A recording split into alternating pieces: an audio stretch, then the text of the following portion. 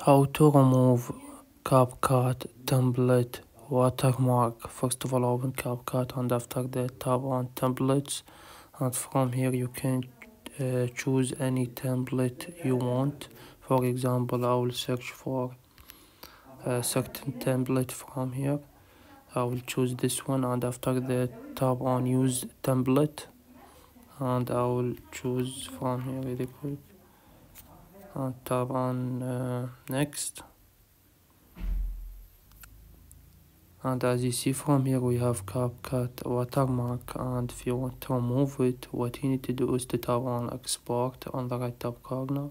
Now do we have two options? Save to device with CapCut watermark or save it and share it to TikTok without uh, watermark. I will choose the second one because I will show you why and after that he will open TikTok automatically.